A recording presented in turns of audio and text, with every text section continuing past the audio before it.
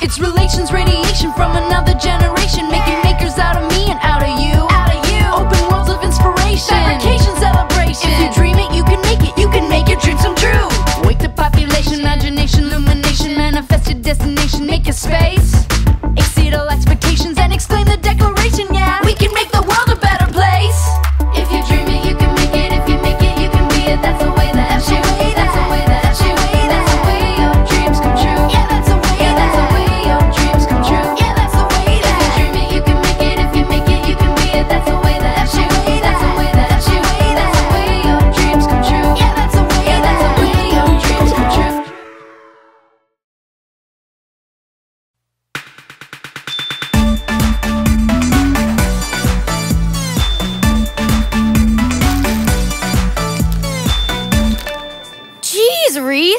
You could have saved me a few crumbs. Seriously, Kay? I just opened this bag.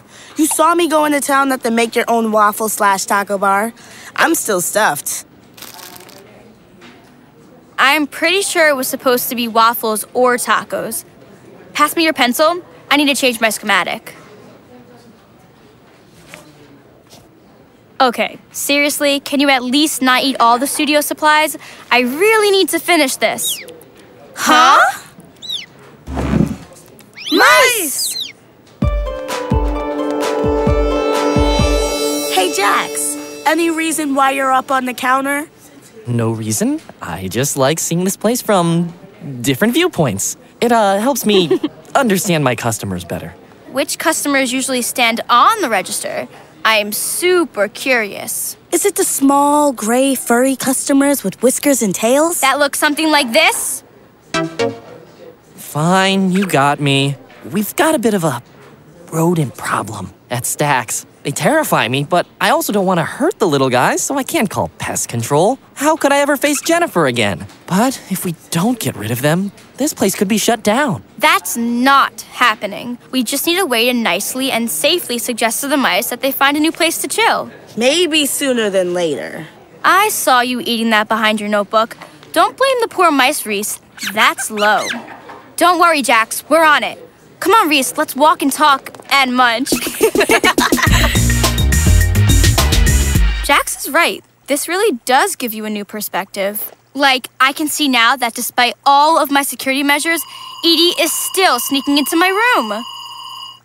I was saving that for binge watching dog mechanics. You know that show is fake, right? Dogs can't fix engines. They just look cute using power tools. I'm ignoring that wildly hurtful comment. What are you finding out about building a better mousetrap? I've watched two mouse music videos, subscribed to a podcast about mice mitts, and downloaded a pattern to make mice shaped mittens. The internet is a magical place. I'm thinking we'll need an actual magical place to help Jax out with his mouse trouble. You in? Always.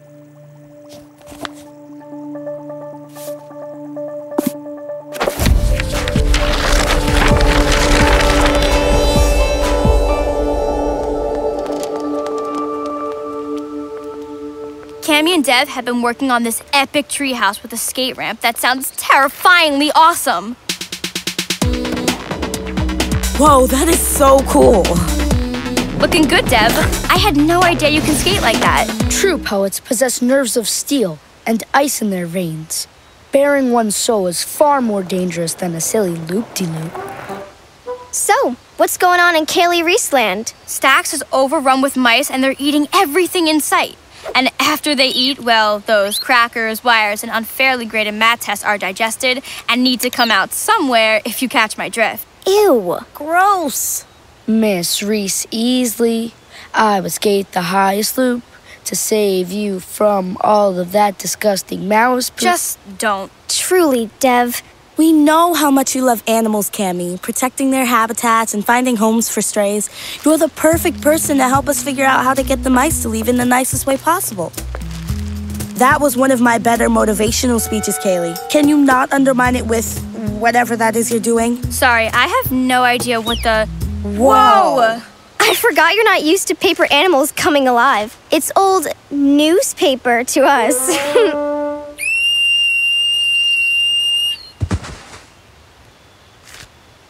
Looks like the fearless poet skater has met his tiny, tiny match. I think Dev scared it away.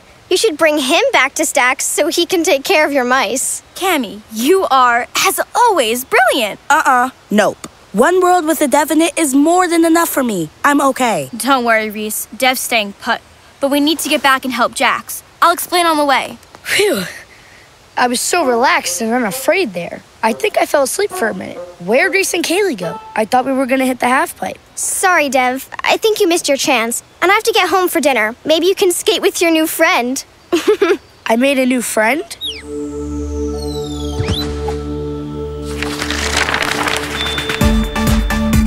And when I realized the mouse was hearing something that we couldn't, Dev's silent screech of terror. Exactly. And that's why Mr. Whiskers ran off. I did a little research. Some animals can hear sounds that our ears can't. If I can set this in the really high frequency range, like 30 or 40 kilohertz, we can annoy the rodents enough to drive them away. It has to work. I'm sick of sharing everything with these mice. I'm an only child. You know I can't roll with that. Speaking of annoying siblings, how's that anti-Edie security system working out? Fantastic. Like I've been saying all these years, Edie and rodents have a lot in common.